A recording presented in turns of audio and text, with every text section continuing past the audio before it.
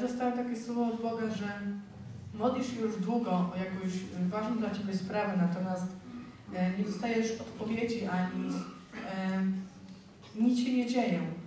E, zaczynasz zadawać pytania, podchodzisz do różnych osób, a tak dalej się nic nie dzieje. Chciałem Ci powiedzieć, że jest to jedyny syndrom wiary. Po prostu nie wierzysz w to. Modlisz się wiele razy o to, ponieważ jeśli e, modlisz się o coś, to modlisz się raz, bo wiesz, że to się już wydarzyło. Nie, na przykład nie modlisz się o uzdrowienie zdrowej części kilka razy, bo jest to niepotrzebne. Modlisz się raz i wierzysz.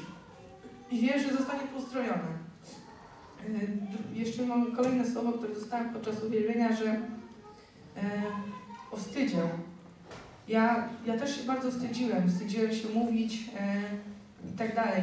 Słyszałam różne rzeczy, patrzcie w jeden punkt. Gwarantuję Ci, że to nie działa, ponieważ i tak wstyd dalej w Tobie będzie.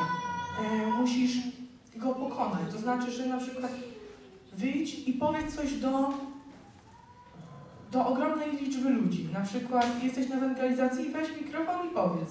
E, zobaczy się kilkaset ludzi i gwarantuję, że wstyd więcej nie wróci. Amen. Amen.